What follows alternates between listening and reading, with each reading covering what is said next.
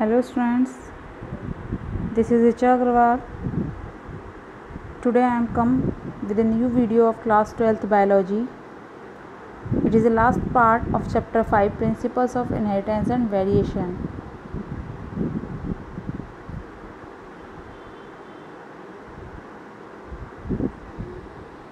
what is mutation mutation क्या है? तो म्यूटेशन आपने अपनी प्रीवियस क्लासेस में भी पढ़ा है। और इससे पहले जो वीडियोस मैंने बनाए थे, उसमें मैंने आपको लिंकेज और रिकॉम्बिनेशन भी बताया था। तो ये लगभग उसी के जैसा होता है, बस थोड़ा सा डिफरेंस होता है। लिंकेज और रिकॉम्बिनेशन में क्या होता है कि जो हेड यूनिट्स हैं, उसमें वो दूसरे हेड यूनिट्स के साथ लिंक हो जाते हैं और रिकम्बाइन कर जाते हैं। लेकिन म्यूटेशन में क्या होता है, जब हेरिडी यूनिट्स के में के सीक्वेंस में चेंजेस हो जाते हैं और वो चेंजेस फिनोटाइप वेरिएशंस में फिनोटाइपिक वेरिएशंस के रूप फॉर्म में दिखाई देने लगते हैं। दैट इज़ कॉल्ड म्यूटेशन तो we can define as mutation is phenotypic variations occurs due to the change in gene और D N A sequence is called mutation the organism that undergoes mutation is called mutant यानी कि जिस organism में mutation की process होती है, उस individual को हम म्यूटेंट कहते हैं। जब डीएनए सीक्वेंसेस के में अल्ट्रेशन होता है तो उससे जो रिज़ल्ट मिलता है, वो होता है कि जो जीनोटाइप्स हैं और जो फिनोटाइप्स हैं, वो भी चेंज हो जाते हैं। या कह सकते हैं कि जो म्यूटेशन है, अगर किसी भी डीएनए के सेगमेंट में डिलीशन या इंसर्शन होता है, किसी भी डीएनए सेगमेंट का क्रोमोसोम्स पर। That is called chromosomal aberration aberrations उसे हम क्रोमोजोमल एब्रीरेशंस कहते हैं। जीन म्यूटेशंस क्या कहते हैं? जब म्यूटेशन डीएनए के सिंगल बेस पेयर के दौरान चेंज होता है, यानी कि जब डीएनए का सिंगल बेस पेयर चेंज होता है, उस दौरान जो म्यूटेशन होता है that is called gene mutation और a point mutation and the best example of point mutation is sickle cell anaemia next is what is frame shift mutation frame shift mutation क्या होता है? जब डीएनए के base pairs में कोई भी segment delete हो जाता है या कोई नया सेगमेंट उसमें इंसर्ट हो जाता है ऐड हो जाता है, तब उसको फ्रेम शिफ्ट म्यूटेशन कहते हैं। यानी कि जैसा कि इसके नाम से शुरू है फ्रेम शिफ्ट यानी कि डीएनए का कोई भी सीक्वेंस जो एक सेट है, एक सेगमेंट है, जब वो या तो वहाँ से रिमूव हो जाता है या वहाँ पर कोई नया सेगमेंट आकर ऐड हो जाता है तो उसे हम फ्रेम शिफ्ट म्यूटेशन कहते हैं। नेक्स्ट इज़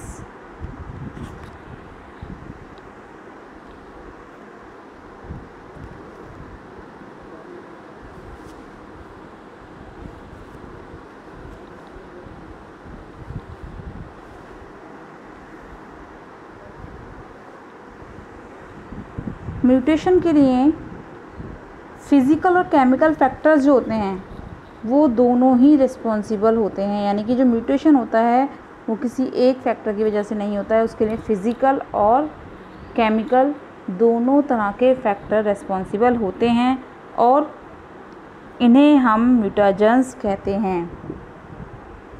यूवी रेडिएशंस जो होती हैं, वो भी ऑर्गेनिज्म में म्यूटेशन कॉज करती हैं, जिसकी वजह से उस ऑर्गेनिज्म को म्यूटाजन कहा जाता है।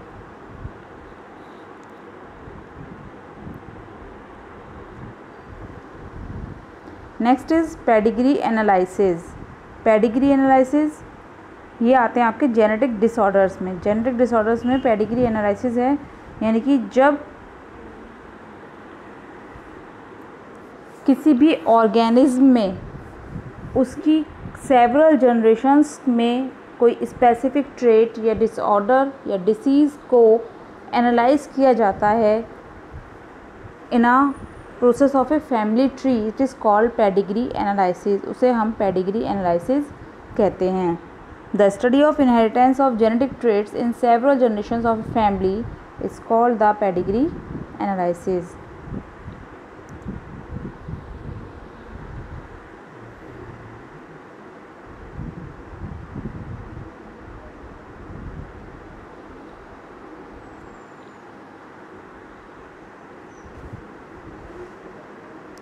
pedigree analysis में किसी एक पर्टिकुलर ट्रेट को जो फैमिली फैमिली ट्री में कोई पर्टिकुलर ट्रेट रिप्रेजेंट किया जा रहा है, उसको कई सेवरल जनरेशन्स तक स्टडी किया जाता है एनालिसिस किया जाता है।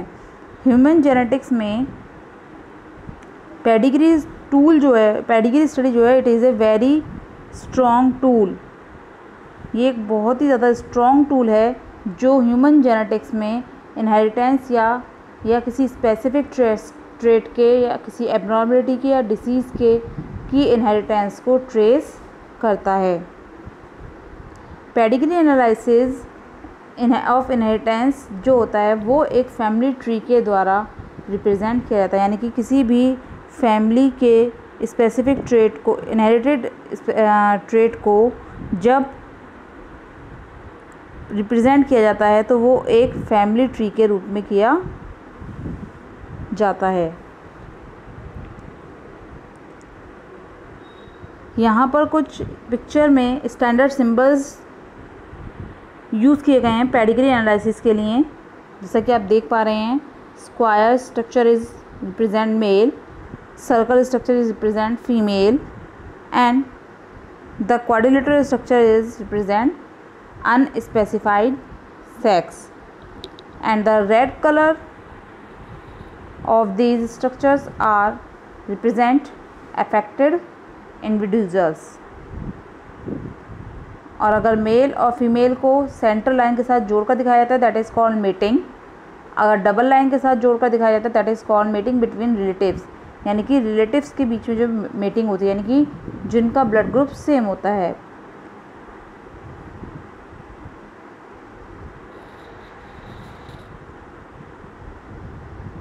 अगर इस तरीके से शो होता है that is called parents above ऊपर पेरेंट्स हैं एंड चिल्ड्रंस ब्लो और नीचे उनके प्रोजेनीज हैं, जो लेफ़्ट से राइट की तरफ़ हैं। ठीक है, अगर इस तरीके से दिखाया जाता है तो ये है पेरेंट्स विद मेल चाइल्ड यानी कि मेल चाइल्ड है, जो डिसीज़ से अफेक्टेड है, और ये अबव पोर्शन वाले उसके पेरेंट्स हैं। अगर इस तरीके से दिखाया जाता है picture that is called identical twins और अगर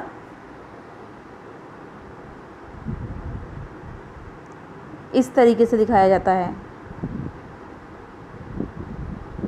That is called non identical twins और इसके साथ साथ अगर इस तरीके से दिखाकर इसके अंदर फाइव लिखा होता है।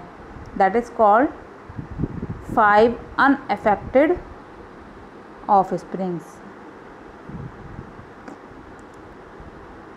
ठीक है? ये सिंबल्स जो होते हैं, ये पेडिग्री एनालिसिस में यूज़ किए जाते हैं, जिसको आप मैंडेरियन डिसऑर्डर में पढ़ेंगे।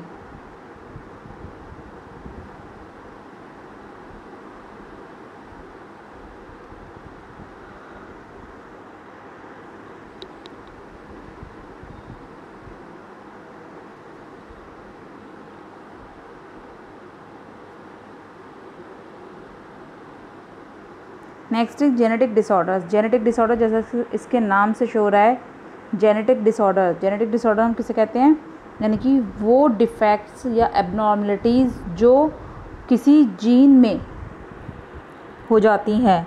That is called genetic disorders और वो जीन्स इनहेरिटेबल होते हैं. यानी कि एक जनरेशन से दूसरी जनरेशन में ट्रांसफ़र होने वाले होते हैं. उन्हें हम जेनेटिक डिसऑर्डर्स कहते हैं. जेनेटिक डिसऑर्डर्स को टू कैटेगरीज में क्लासीफाइड किया गया है। First is Mendelian disorder and second is chromosomal disorder Mendelian disorder किसे कहेंगे हम? मैंडेलियन डिसऑर्डर को हम डिटरमाइन कर सकते हैं किसके द्वारा कि जब किसी सिंगल जीन में म्यूटेशन होता है या ऑल्ट्रेशन होता है that is called Mendelian disorder Mendelian disorders are mainly determined by alteration और mutation in a single gene जब सिंगल जीन में म्यूटेशन होता है या अल्ट्रेशन होता है, उसे हम मेंडेलियन डिसऑर्डर कहते हैं। मैंडेलियन डिसऑर्डर डिसऑर्डर जो होता है, उसका जो प्रिंसिपल है, वो मैंडेलियन इनहेरिटेंस के प्रिंसिपल्स को ओबे करता है, क्योंकि जो मैंडेलियन इनहेरिटेंस था, उसमें भी वन जनरेशन से नेक्स्ट जनरेशन में जीन्स का ट्रांसफ़र होना दिखाते हैं। इस तरह से मैंडेरियन डिसऑर्डर्स में भी जीन्स जो होते हैं, वो एक जनरेशन से दूसरी जनरेशन में ट्रांसफ़र होते हैं।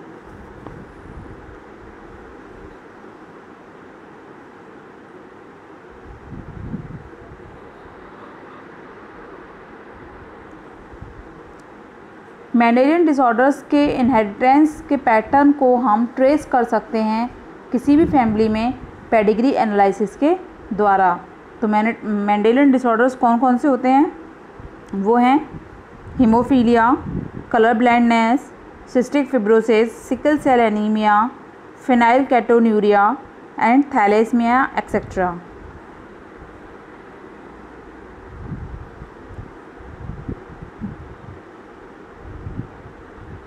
ये मैंडेलियन डिसऑर्डर्स होते हैं सो so, इनको अंडरलाइन कर लीजिएगा दे आर वेरी इंपॉर्टेंट इनसे रिलेटेड क्वेश्चन पूछे जाते हैं।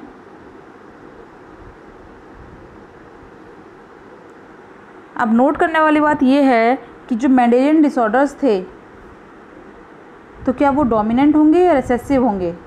कि पेडिग्री की जब हम एनालिसिस करेंगे तो जो डिसऑर्डर है, वो डोमिनेंट कैरेक्टर का होगा या रिसेसिव कैरेक्टर का होगा? तो पेडिग्री एनालिसिस के द्वारा हम इजीली अंडरस्टैंड कर सकते हैं कि जो ट्रेट है उसका क्वेश्चन क्वेश्चन में जो ट्रेट है, वो डोमिनेंट है या रिसेसिव है। सिमिलरली जिस तरह से, जैसे हीमोफीलिया है तो हीमोफीलिया जो ट्रेट होता है, वो किसके ऊपर होता है? सेक्स क्रोमोसोम्स के ऊपर होता है। और उसमें भी केवल एक्स क्रोमोसोम जो होता है, वो उसको कैरी करता है। ठीक है? तो तो ये एक एविडेंट बन जाएगा कि जो एक्स लिंक्ड क्रोमोसोम है, वो रेसेसिव है, जो शो करता है किसकी? कैरियर फीमेल को से मेल प्रोजेनी में, यानी कि जो ट्रांसमिशन दिखाता है, वो किसका दिखाता है? कैरियर फीमेल से मेल प्रोजेनी में उसका ट्रांसमिशन दिखाता है। तो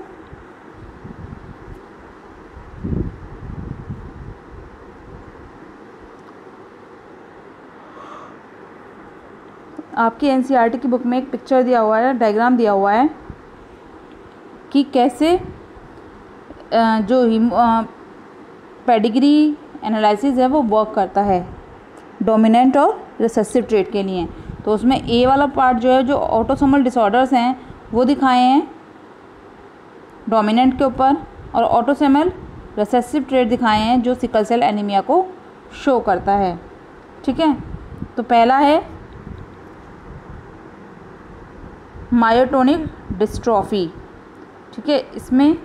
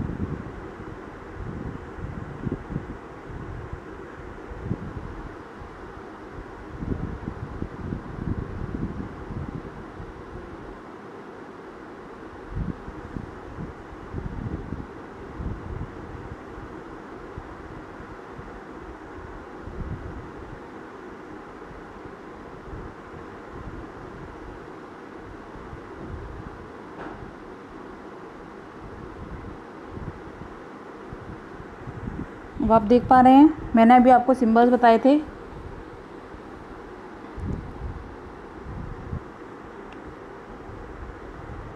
ये देखिए स्क्वायर और, अगर स्क्वायर और सर्कल में मीटिंग हो रही है तो यहाँ रेड कलर है, वो कैसा है? अफेक्टेड तो यानी कि red female is affected and mate with a healthy male उससे जो उनकी प्रोजेनिज हुई, उसमें एक मेल और एक फीमेल जो थी, वो कैसी थी? अफेक्टेड थी। जबकि एक फीमेल और एक मेल अनअफेक्टेड थी। जब अनअफेक्टेड मेल की मीटिंग एक हेल्दी फीमेल से हुई तो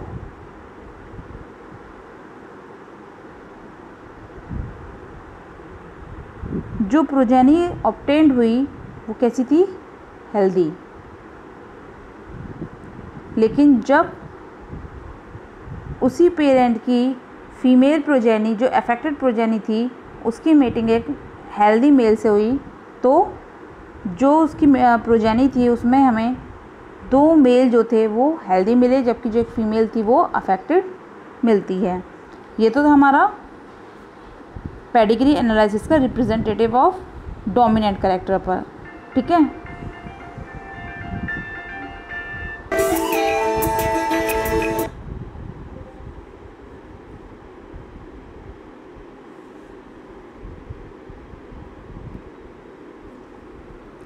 जो फादर और मदर हैं, वो सिकल सेल एनीमिया से क्या हो रहे हैं? सफ़र कर रहे हैं, ठीक है? मदर भी और फादर भी दोनों। तो जो इनकी प्रोजेनी होगी, वो भी सारी सिकल सेल एनीमिया से सफ़र करेगी। लेकिन यहाँ पर फादर विथ ट्रेट फादर में एक सिकल सेल एनीमिया का ट्रेट है, लेकिन मदर नॉर्मल है। तो जो उनकी प्रोजेनी होगी, वो कैसी होगी? फिफ्टी फिफ्टी परसेंट चांसेस होंगे कि उनमें सिकल सेल एनीमिया हो।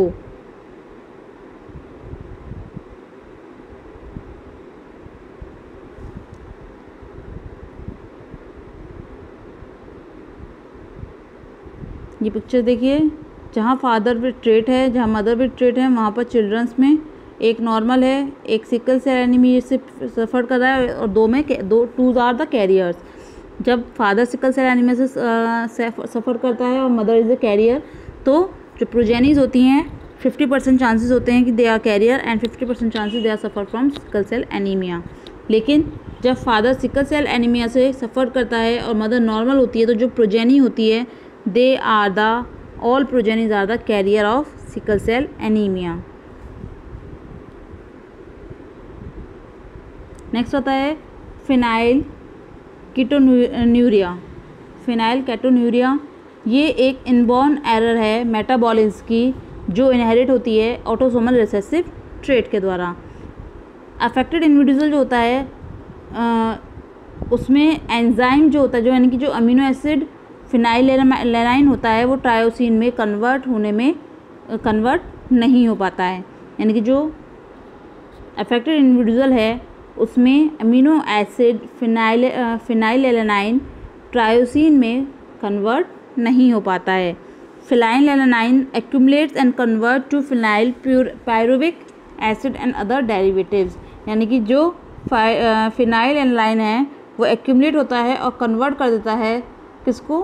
फिनाइल एलेनाइन को फिनाइल पैरोविक एसिड्स और उसके डेरिवेटिव्स में, जिसकी वजह से जब इसका इन एसिड्स का एक्यूमलेशन होता है तो ब्रेन में तो इसकी वजह से मेंटल रिटार्डेशन हो जाता है और ये यूरिन के थ्रू भी एक्सक्रीटेड हो जाते हैं क्योंकि किडनी जो होती है वो उसका एब्जॉर्प्शन नहीं कर पाती है।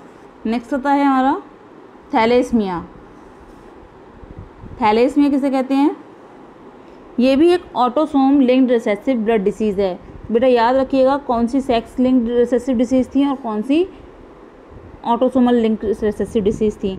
तो सिकल सेल एनीमिया और thalassaemia are the autosome linked recessive disease and haemophilia and colour blindness are the sex linked recessive disease and phenylketonuria is a metabolic metabolic autosomal recessive trait ठीक है? तो thalassaemia में जो autosome link recessive blood disease होती है, जो उनके office में पेरेंट्स से ट्रांसफ़र होती है, जब बोथ पार्टनर्स अनअफेक्टेड रहते हैं, यानी कि हिट्रोजाइगस होते हैं यानी कि वो कैरियर होते हैं इसके, इस डिसीज़ के तो वो तो ये डिसीज़ उनकी प्रोजेनिज में ट्रांसफ़र होती है। ऐसा ये डिफेक्ट कब अकर होता है? जब अल्फ़ा और बीटा चेन यानी कि जो ग्लोबिन चेन होती है, उसके सिंथेसिस का जो रिड्यूस रिड्यूसिंग रेट है, वो जब रिड्यूस हो जाता है, यानी सिंथेसिस रेट जो होता है, वो रिड्यूस हो जाता है, यानी कि म्यूटेशन म्यूटेशन या डिलीशन हो जाता है किसी भी चेन में, ग्लोबल चेन में तो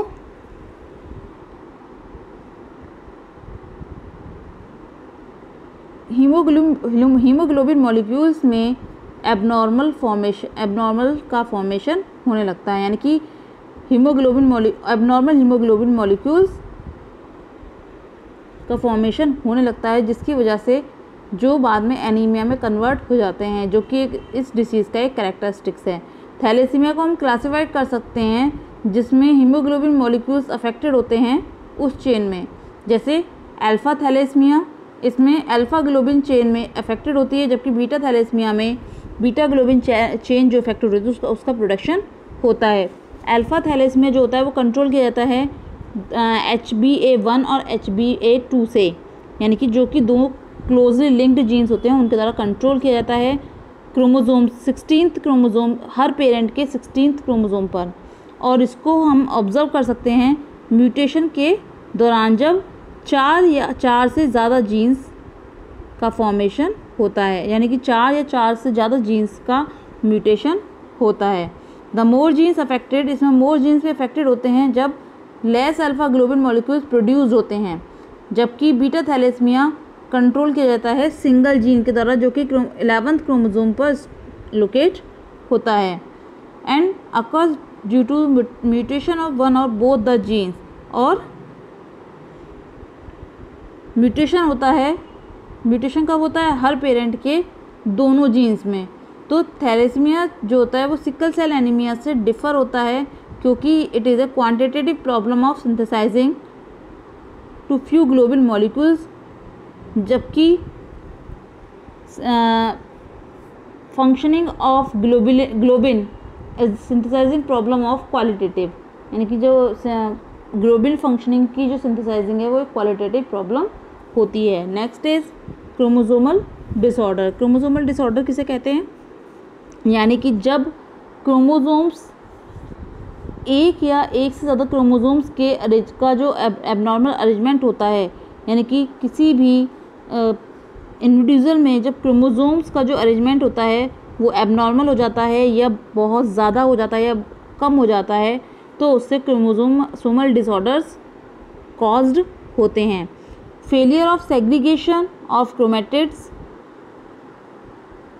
during cell division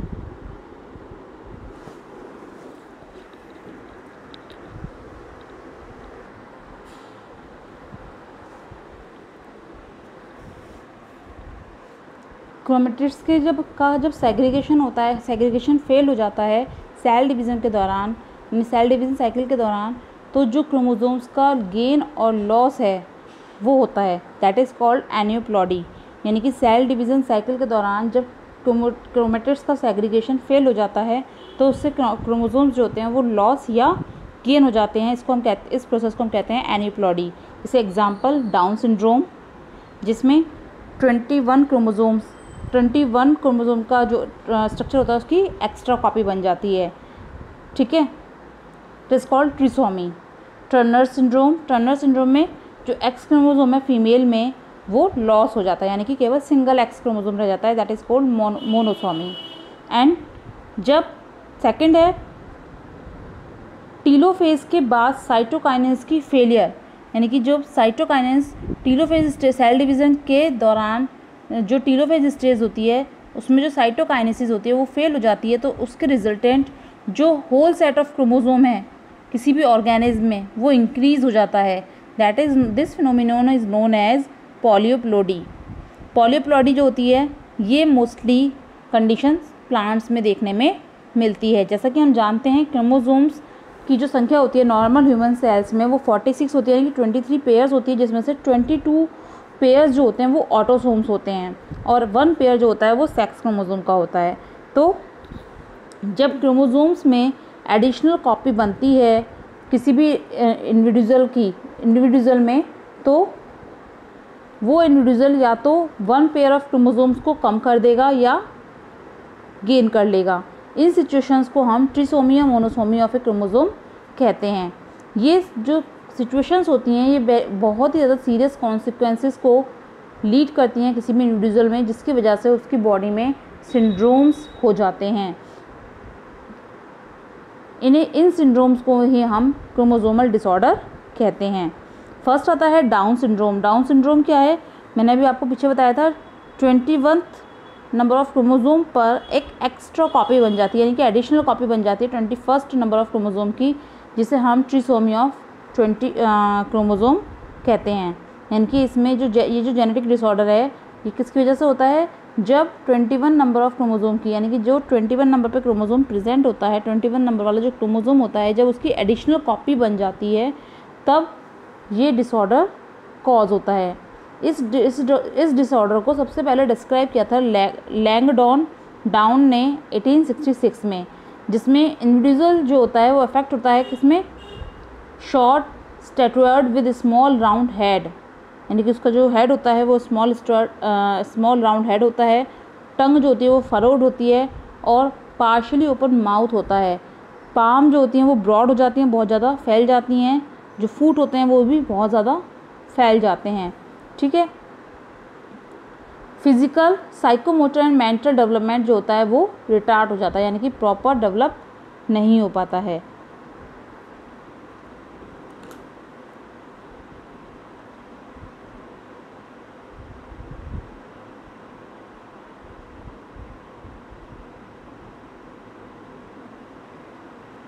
नेक्स्ट आती है Klinefelter's syndrome Klinefelter syndrome किसे कहते हैं? ये भी एक जेनेटिक डिसऑर्डर है, जो एक्स क्रोमोजोम की एडिशनल कॉपी की प्रेजेंस की वजह से होता है। यानी कि जो कैरियोटाइप होता है, वो कैसा हो जाता है?